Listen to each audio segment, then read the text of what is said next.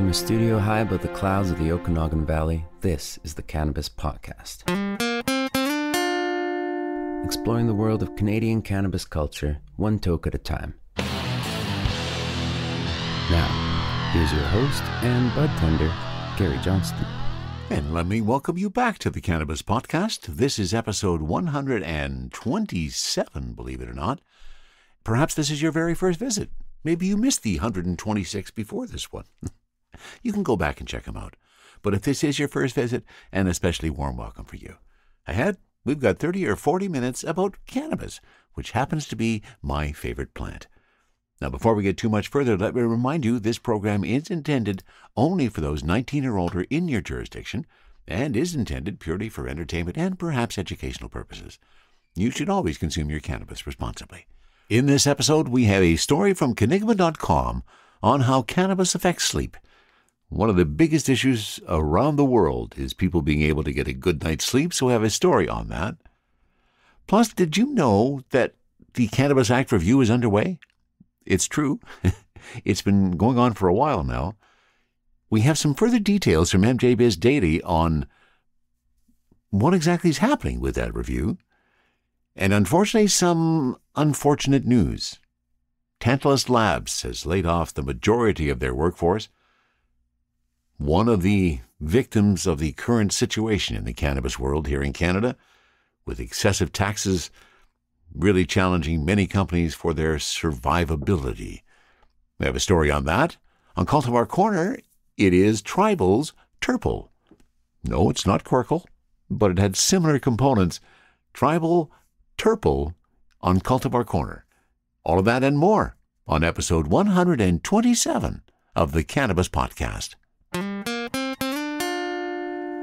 And I want to start this episode with, for what is, for all intents and purposes, another edition of Your Cannabis Story.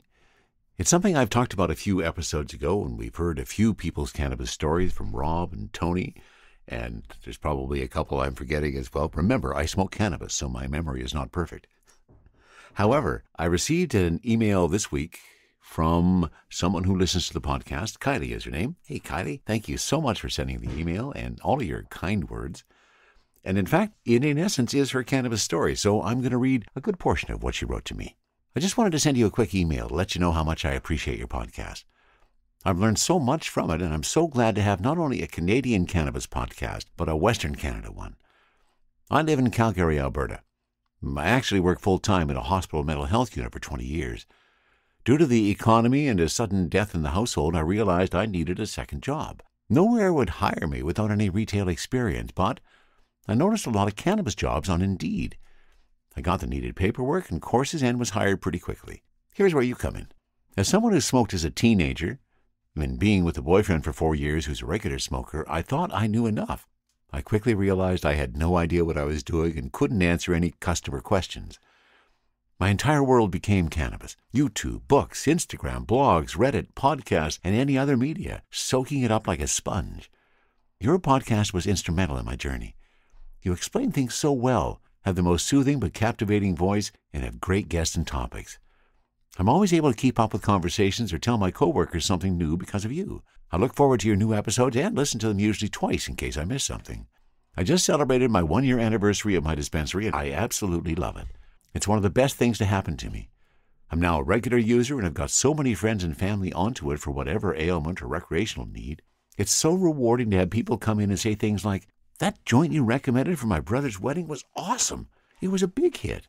Or, that gummy you recommended gave me the best sleep I've had in 10 years. How can I thank you?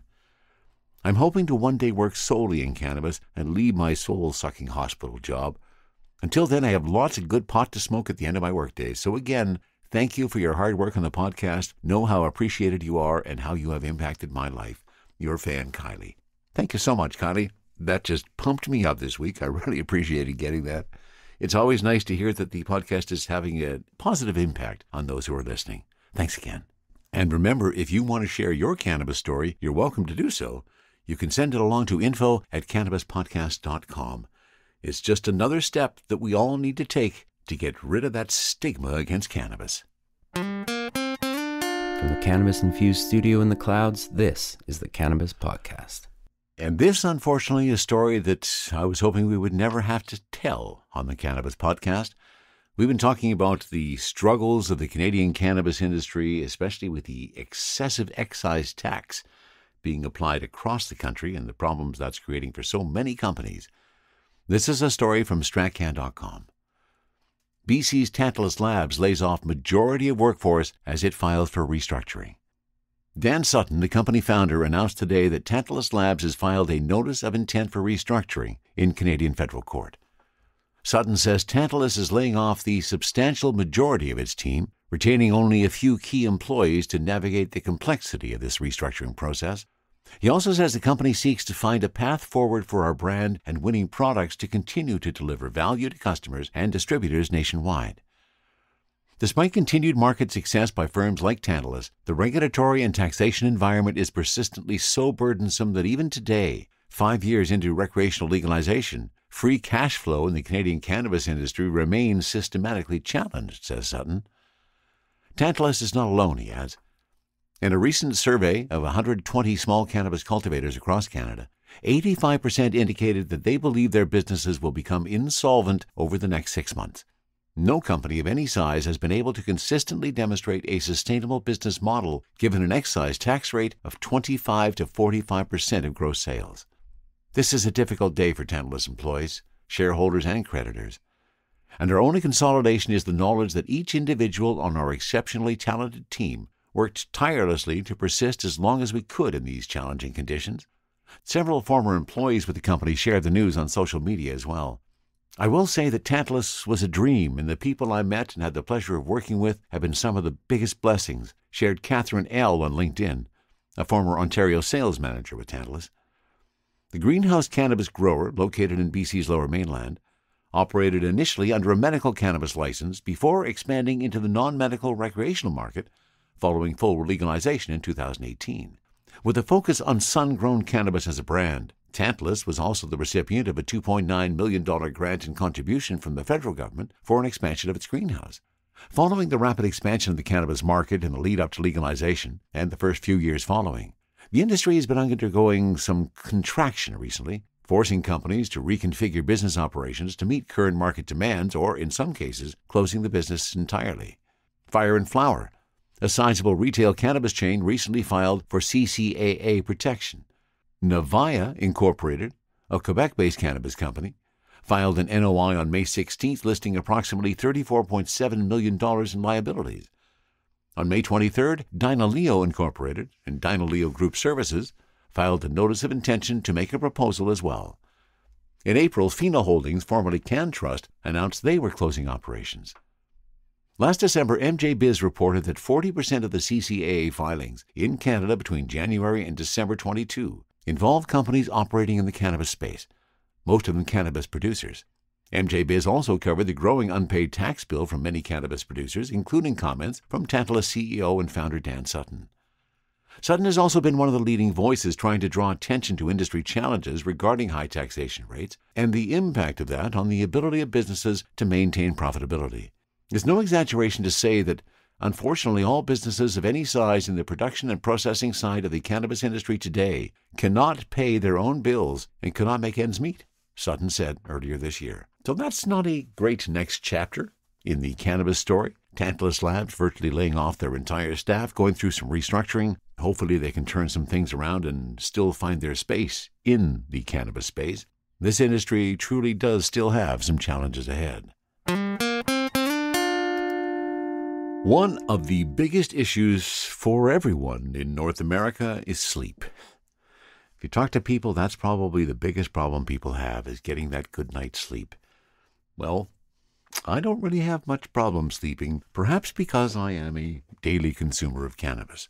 I did find when I took my tolerance break recently, that was the, biggest impact for me. I did not sleep as well. It took me a long time to fall asleep.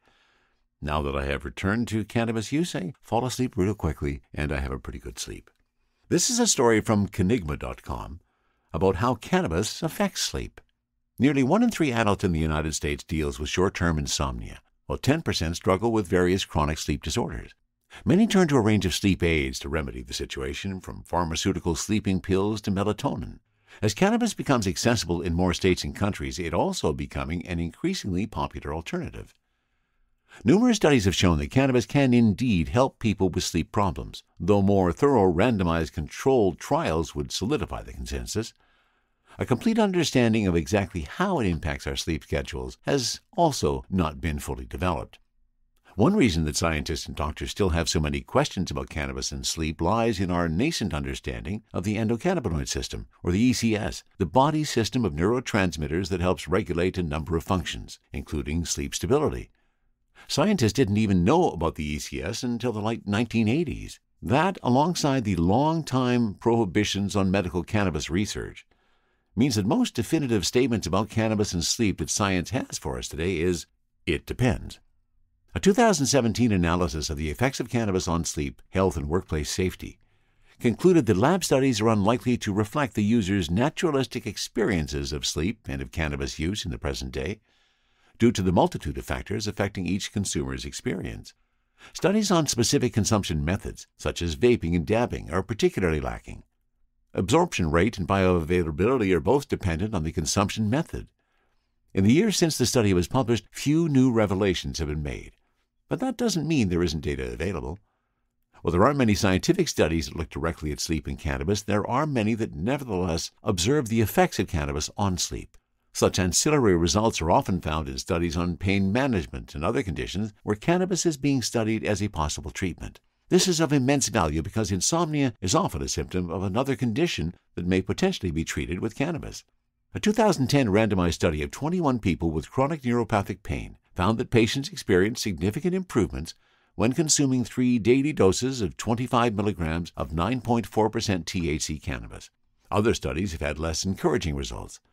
A 2008 study found that higher THC strains had the ability to lessen the amount of REM sleep. A more recent study from 2015 determined that regular cannabis use can actually impair sleep. A 2014 University of Glasgow study of chronic pain expanded its subject pool to 246 patients. Instead of smoking cannabis flower, the research subjects used a sublingual THC CBD spray during the 15 week double blind placebo controlled group study. Overall, the researchers found that a meaningful proportion of otherwise treatment resistant patients experienced improvements in their sleep. THC and CBD are just two of at least 140 cannabinoids in the cannabis plant. Each of these cannabinoids reacts differently in the human body. For example, THC and CBD have many similar effects, but CBD does not produce the psychotropic effects that THC does. A 2017 study of cannabinoids and specific sleep disorders looked at two animal studies using CBD to determine its effect on sleep quality and the sleep wake cycle. One of the studies found that a higher dose of CBD REM caused increased rapid eye movement, sleep latency, or the time it takes to reach the REM stage of sleep. This effect comes despite cannabis showing the potential to put people in a deeper sleep. The other animal CBD study reported a decrease in anxiety induced REM sleep suppression. This effect was credited to CBD blocking such reactions while having no impact on non rapid eye movement stages of sleep or dreamless sleep. The report also cited various findings to suggest CBD and THC combined may be useful while THC alone, as well as synthetics, decreases sleep latency. Most of the studies and anecdotal findings suggest that CBD has few to no adverse side effects on patients with sleep issues. Aside from a small number of cases, often with high doses, most people appear to respond well to CBD. A 2019 case series focusing on the effect of CBD on anxiety and sleep reported that CBD was well tolerated among 72 adults with anxiety issues. In all, two patients left the study after one week, citing fatigue. Another subject reported dry eyes, a common side effect in THC consumption. One patient with a developmental disorder was removed from the study after experiencing increased sexually inappropriate behavior. A 2018 study of medical cannabis flower and insomnia analyzed 1,056 self administered reports from 409 patients using the Releaf app. In 57% of sessions, users reported one or more adverse side effects. On the other hand, 95% reported at least one positive side effect. The study noted that consumers used a variety of cannabis strains with various THC and CBD potencies. In most cases, adverse side effects resembled that of THC consumption, like dry eyes. Another common side effect was fatigue, which, of course, is, in this case, the desired effect. Adverse side effects can also occur when combining cannabis with other medications, herbs, supplements, and foods. The U.S. National Library of Medicine published an extensive list of possible interactions with CBD. It also listed a series of medical conditions and symptoms many people use CBD for, noting that insufficient evidence makes it impossible to rate its effectiveness at this time. Cannabis has shown the potential to address many sleep issues for patients. Be it a sleep disorder or a symptom of another condition, cannabis appears to help scores of people fall asleep easier. That said, cannabis is not a one size fits all solution, as some studies suggest the cannabinoids you consume may drastically alter your outcome. CBD appears to be the most recommended cannabinoid to try, often paired with the intoxicating THC.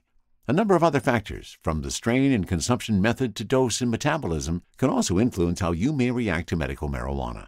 As such, consult with your physician before using cannabis to treat a sleep disorder or disturbance. Great article from Canigma.com Sleep and Cannabis. How does cannabis impact your sleep? THC, CBD, terpene profiles, what's in me? Oh, please explain to me. Cultivar Corner, Cultivar Corner, oh yeah. Cultivar Corner, please explain this stuff to me. On Cultivar Corner today, we are testing something from a company we haven't tried before Tribal. Sell a fair amount of tribal products. And this one, I have to admit that I was intrigued by the name. If you've been a listener of the podcast for any length of time, you may remember my discovery of Querkle from the folks at Sitka. That was a couple of years ago. Became my absolute go-to as soon as I opened the jar of the bag.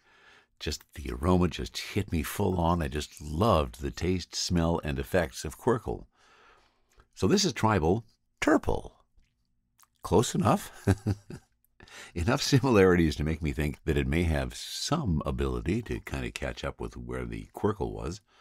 I have no idea about that at all.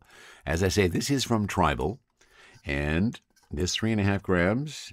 I picked this up from my Mendo subscription, and this is in a nitro tin. They kind of went quickly by the wayside, didn't they? There was so much excitement as people were coming out with the nitro tins, and we all thought it was pretty cool when you first opened it, as in this. I mean, that, that's a cool sound. But once you've opened it, it's really hard to keep the weed fresh in those nitrous tins. Hmm. Okay, so let's get into what we have here today. This is Terple from the folks at Tribal. And Terple is a hybrid strain of cannabis known for its sweet burst of orange flavor with undertones of gas and wood. Mm, definitely some orange notes there. Expect crystal coated dense buds, deep purple sugar leaves, and bright amber pistils with elevated THC levels and a rich terpene profile. Let's get out the jeweler's loupe. Take a gander at our little Terple here. And see what's in store for us as we take a peek. Oh, very frosty. Yes, we got ourselves fields of trichomes in these guys. It's not a bright green. I wouldn't call that a bright green in any stretch of the imagination. It's kind of more of a dark green in overall tones. My three and a half grams made up of one, two, three, four, about seven or eight buds. So not total popcorn buds, but not really big either. And what's my THC levels on this guy? It looks like I'm coming in in the bottom end of the scale. 21 to 27% is the total THC. The total terpenes, uh, 2 to 5%. And yeah, I'm on the bottom end of both of those values. My terpene total on this guy is 2.0 and my THC is 21.3. Now that's going to be interesting because a lot of the stuff we've done lately on Cultivar Corner has been in those high 20s and perhaps even in the 30s. So it'll be interesting to see what the effects of this are. It is a hybrid. Uh, terpenes are caryophyllene, farnesene, humulene, and myrcene. And I'm definitely becoming a believer that anything that has some farnesene in it is going to have some of those candy notes. Mm which is a bit of that orange that's coming through. So relaxing, fragrant, and euphoric. Here's the strain information, and this is a, a multiple cross.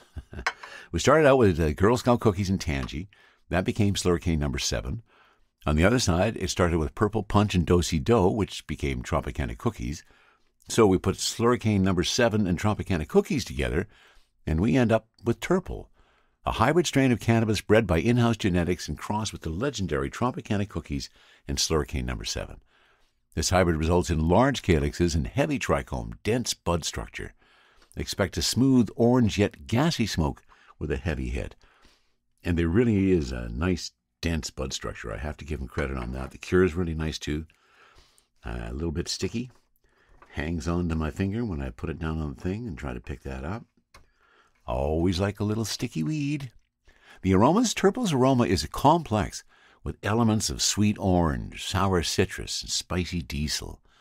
With its high terpene percentages, although 2% isn't terribly high, you can expect a matching flavor intensity with notes of orange juice, earthy sandalwood, and breaths of gas. I think they spelled breaths wrong. it's spelled as breathes of gas. but that's just a typo on the website. We won't worry too much about that. And as I said, uh, terpenes are caryophyllene, farnesene, humulene, and myrcene. Mm, farnesene's got to be giving me those candy notes. Caryophyllene, a bit of spicy pepper, and that myrcene, some earthy tones, and humulene just dialed in for extra measure. You know what? I think it's time we got something ready for the Crafty Plus, and we get our joint ready. As you break the buds open, again, you get another perspective. Now, one thing I did want to start adding to my cultivar corners was the package date. Because I think that's, oh, I wish I hadn't looked. we are in June, right? This is June of 2023 when I'm recording this cultivar corner. oh, harvested on Halloween in 2022 and packaged on December 19th of 2022. So that means it had about a two month cure. And then we got packaged. Let's see, that's over six months ago. we want fresher weed, people. and I guess that's part of the problem, isn't it? The turnover. Some LPs are getting their product out and it's just not moving. So it sits on a shelf for six months before anybody has a chance to actually sample it. I got enough for my joint. I'm just going to uh, get a little bit more ready for my Crafty Plus, which is, oh, look at that. It's up to temperature now, so I should have some weed in it. It's a Saturday morning. This is my first hit of the day. And as we have talked about before, let's bring some intention into my cannabis use. What is my intention for what I am trying to do today? Well, I guess the first and foremost obvious intention is we're doing a review of Tribal Terple. What do we think the quality of the flower and the bud is? What do we think the effect of that is going to be? That's my true intention to see whether or not it gives me a buzz. It's 21% THC. So I happen to have the Crafty ready. So, in fact, I'm going to take my first hit off of that.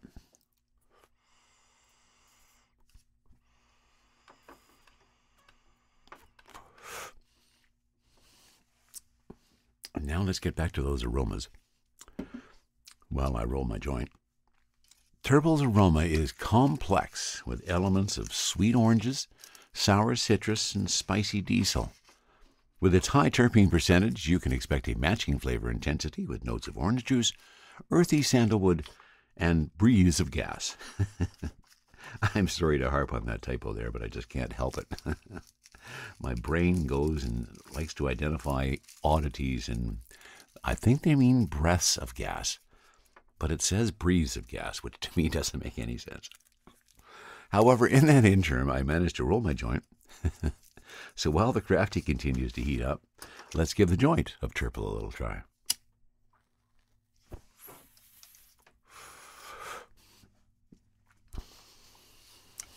Okay, now in the Crafty Plus,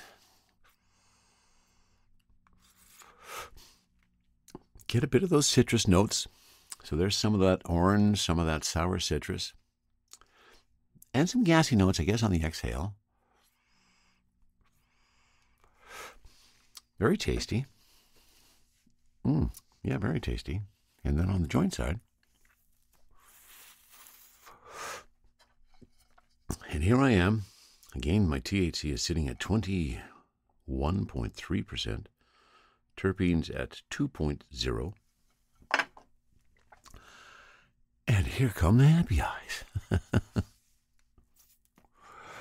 oh, I'm always so pleased with whatever I'm smoking to get enough of it into my endocannabinoid system, and now I can start to feel my eyes reacting. Uh, very calming. Seems to be much of a body stoners at this point. A little bit in my head. Obviously, a bit of euphoria happening up there. Relaxing, fragrant, and euphoric. I think I can agree with each one of those statements at this stage. So the intention to test the veracity of this particular cannabis and to prepare myself for doing another episode of the Cannabis Podcast. And that's coming up this weekend. So I better get to work. Maybe I should stop smoking weed and actually do some work. No. We wouldn't want to go down that path. Okay. I am pretty happy with what I'm experiencing so far. And again, the contrast, as we've been having these discussions about our THC getting so high. I sold some flower this week that was listed on the package at 35% THC. I don't understand how we made our plants so much more intelligent in these last three years. It's a bit of a debate, isn't it? We're not suggesting that there's some falsification of data out there, but I think some people might be playing the numbers game a little bit. And we always have to remember it doesn't matter what THC is listed on the label. The relevant fact is, does it give you a buzz? so I don't care whether this is listed at 21, 28, 29, 37. I'm getting some nice happy eyes. Got some really nice euphoria happening right now. It's a nice smooth hit both in the joint and in the vaporizer. Definitely pick up more of those citrusy notes when I choose the vaporizer. And then I guess on the exhale of the joint, that's when I'm picking up more of the gas. It's not Querkle. It sounds a lot like it with a name like Terple. but the effect, very satisfying to this stage. Really nice euphoria sitting in my head right now. That's going to make my intent a lot easier to accomplish. Because once we're finished this, I start to record the episode. All right, there's another one worthy of your sampling. This is from Tribal. It's called Terple, 21.3% THC, 2% terpenes. Not heavy on the aroma, but very nice on the effect. Sharing stories about good weed while trying good weed.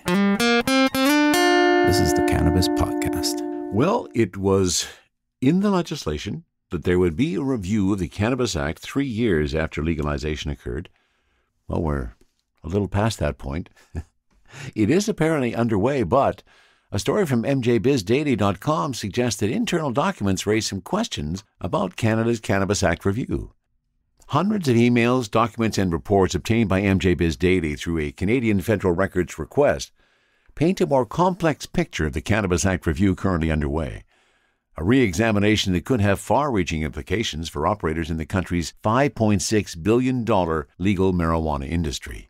A 1,700 page package of documents reveals fresh details about the government appointed expert panel undertaking the review, in particular, the group's tardiness in launching, the scope of the topics covered, as well as what's not covered, and the panel's level of independence from federal officials. Canada's landmark 2018 Cannabis Act, legalizing recreational marijuana, requires the federal health minister to initiate a review of the adult use legalization law three years after its passage and implementation, meaning the review ought to have kicked off in late 2021. But the review was ultimately launched nearly a year later, on September 22, 2022, with only one identified member, the chair, Morris Rosenberg, a former deputy minister under two federal governments. The trove of documents indicates the government's cannabis review was broadened at the behest of a minister's office in the immediate days after the panel was launched. though the documents don't reveal whether it was Health Minister Jean-Yves Duclos or Carolyn Bennett who made the request. Other insights from documents obtained by MJ Biz Daily's Access to Information and Privacy request include an internal draft of the terms of reference, essentially the review's scope and limitations, contains significantly more detail than the scope and limitations that have been issued publicly. Other federal departments and agencies may undertake parallel, separate reviews beyond the one stipulated by the Cannabis Act. Compensation for the panel's chair, almost 200,000 Canadian dollars, and the expected workload. Instructions for the panel to create an Indigenous engagement plan to foster Indigenous participation in the review, as well as a stipulation that the review be conducted in a manner that advances core principles outlined in UNDRIP, referring to the United Nations Declaration on the Rights of Indigenous Peoples. A legally non binding human rights instrument that details the rights of Indigenous peoples around the world, including in Canada. A requirement for the Cannabis Act Legislative Review Secretariat, the office housed at Health Canada, responsible for the panel's administrative affairs, to keep the panel informed of the findings and recommendations by the Federal Cannabis Strategy Table, which is a separate business focused body. During the second phase of the panel's review, it will work with provinces and territories to identify priority areas for action that might have implications for their respective jurisdictions under the Cannabis Act.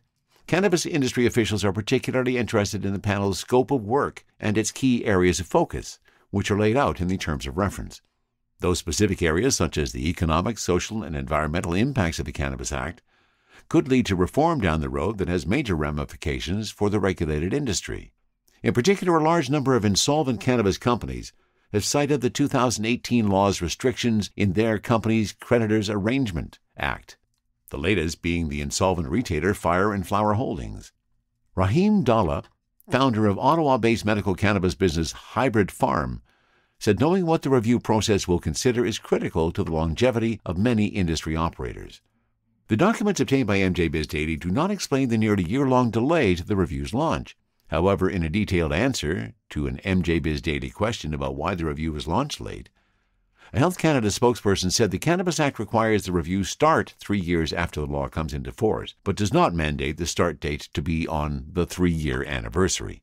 The spokesperson also said the chair was appointed first as the vetting process continued for the rest of the panel members. This allowed time for the chair, working with the Secretariat, to support the orientation for the expert panel and plan for future engagements prior to the other panelists commencing in their roles as the vetting process continued.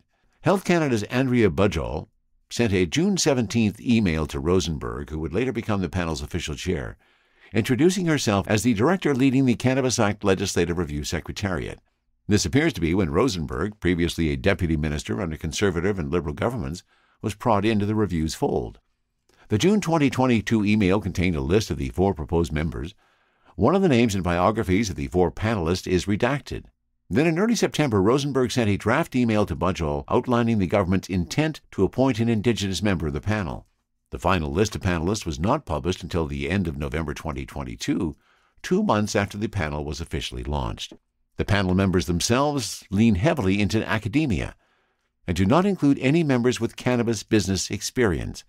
The appointed panelists were Oyedeji Ayonrinde, a consultant psychiatrist and associate professor in the departments of psychiatry and psychology at Queen's University in Kingston, Ontario, Patricia Conrod, clinical psychologist and full professor in the Department of Psychiatry and Addiction at the University of Montreal, Linda Levesque, a criminal lawyer and member of the Fisher River Cree Nation in Manitoba, Treaty 5 territory, Peter Selby, head of mental health and addictions in the Department of Family and Community Medicine in the University of Toronto. Rosenberg was expected to work 2.5 days, or 18.75 hours a week. The contract was set to end February 17, 2024. The chair would be given an office at a Federal Health Canada facility and the contract is valued at $148,100. The internal terms of reference contain a detailed key deliverables section. Three of the deliverables outlined are the aforementioned status updates for the ministers, the What We Heard report, and the interim report. The panel's final report is supposed to be delivered to the ministers no later than 18 months after the establishment of the panel. That would translate to March 2024, unless the panel is extended. The panel will operate for 18 months after being confirmed, at which point the ministers could extend the participation of some or all panel members or appoint new members. And there's a bit more detail perhaps a bit more minutiae than you wanted, in relation to the Cannabis Act review still underway after we have had legalization now since October 17th, 2018. Thank you so much for being a listener of the podcast. I truly appreciate the fact that you are here. I also especially want to thank my supporters, Kevin and Jordana at buymeacoffee.com slash cannabis podcast, and on Patreon, my patrons, Rob, Tony, and Roger. Thanks for being here, guys. I truly appreciate the support. You'll find the links to both of those items at the top right when you're sitting on the show page. If you ever have a comment on anything you hear on the Cannabis Podcast, please send a note to info at cannabispodcast.com. That's it for episode 127 of the Cannabis Podcast. From the Cannabis Infused Studio, high above the Okanagan Valley, this was the Cannabis Podcast.